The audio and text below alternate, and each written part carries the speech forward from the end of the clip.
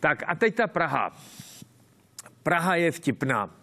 Eh, Praha je největší české město, nejsledovanější české město. V Praze je sídlo nejbohatších bank a podniků a všech Česů a tak dále. V Praze vychází všechny média. Jo. Česko má jako zajímavý specifikum. Největší televize, a máme tři největší televize, Prima, Nova a Barandov, komerční televize Prima, Nova, Barandov, tak jsou v Praze. Česká televize je v Praze.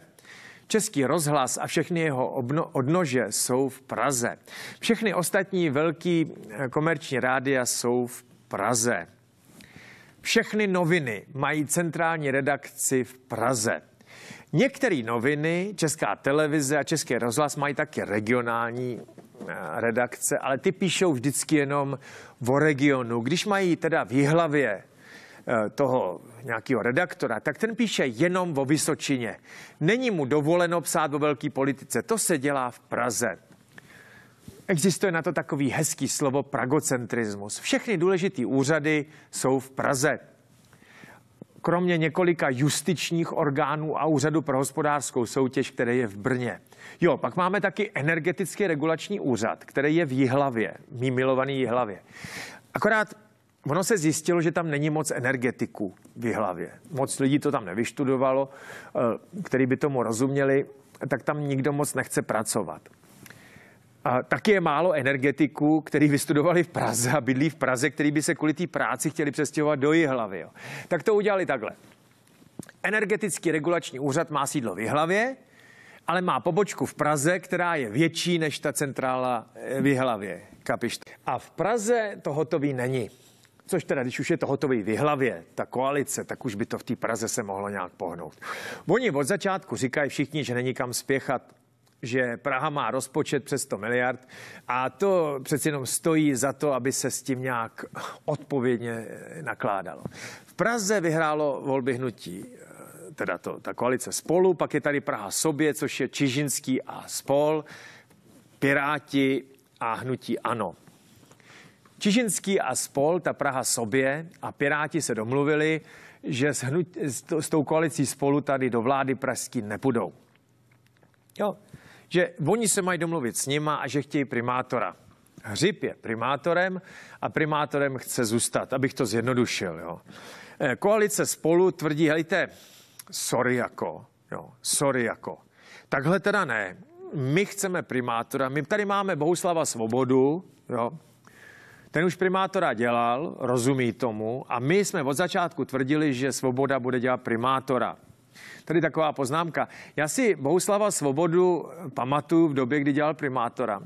Náměstka mu tehdy dělal uh, Hulínský, jo, Petr Hulínský z pražský ČSSD. Uh, Petra Hulínského jsem znal, uh, dokonce jsem s Petrem Hulínským byl v kanceláři primátora Svobody tehdy teda takhle na mě to nepůsobilo nějak důvěryhodně, protože eh, primátor Svoboda už tehdy měl pověst, že není jako úplně eh, nejpracovitější a to město úplně nejefektivněji neřídí. Jo? To, je, to je jako pravda. Jo? Po té době uplynulo asi 15 let, takže bych řekl, že Bohuslav Svoboda slovy politika bude ještě koncenzuálnější, jinými slovy ještě mu ubylo pár uh, trochu sil, že jo, takže s ním nebudou velký problémy. Proto asi ty vlčáci tlačí Bohuslava Svobodu uh, do křesla primátora.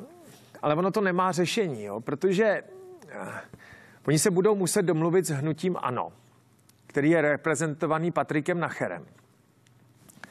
A nebo toho primátora mít nebudou. No, to je celkem jako srozumitelný. Hnutí ANO teď kroutí takhle palečkama a čeká.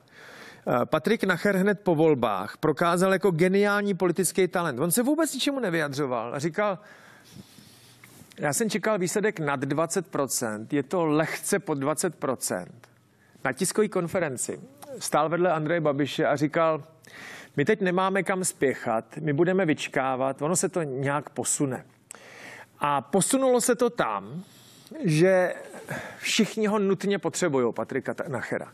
Patrik Nacher je vítězem voleb, i když měl akorát 20%, protože když udělá takhle na svobodu a takhle na Čižinského a spol a hřiba, no tak primátorem bude svoboda. Když to udělá opačně, no tak primátorem bude hřib. Patrik Nacher nemá co ztratit a naprosto jistě je prvním náměstkem primátora. Pokud se ne, nedomluví Čižinský a Hřib se svobodou, což nevypadá úplně pravděpodobně, naprosto jistě. Upřímně, já si myslím, že Patrik Nacher je natolik šikovný politik, že má hrozně blízko křeslo primátora. Jo. Uh, je natolik šikovný a dá se říct politicky geniální a hlavně má histori- historii svoji, že jeho hvězda teď září. Já jsem ho před lety jsem začal zvát. On se ukázal jako bezvadný diskutér. Někdy, když je unavený, tak se, tak se s ním jako člověk docela hádá. Ale je to vel, velmi empatický politik. Eh, má dobrý přehled. Mě rozesmál jednou, když ho ta debata nebavila, že se začal štrachat mobilním telefonu a říkal mi, že si hledá podklady. Já jsem to viděl. Eh, nebavilo ho vyprávění tehdy komunisty. Jo? A já, já se mu nedivím. A Patrik Nacher má našlápnuto, pokud bude chytrej na primátora v Praze, minimálně na prvního náměstka a faktického jako hybatele dění v Praze. Osobně si myslím, že tenhle chlap, jo, Patrik Nacher, pamatujte si to jméno, Patrik Nacher z Hnutí Ano, je budoucnost Hnutí Ano. Tenhle ten chlap, Andrej Babiš, má mimořádný politický instinkty. A jestli není hloupej, tak by si měl vybrat prince nástupníka nebo následovníka trůnu. Moje úvaha je, že Patrik Nacher eh, je budoucnost nutí ano a že by se s ním mělo počítat. A pokud tu politickou partii tady v Praze po volbách bude hrát tak jako do posud, tak bude pražským primátorem.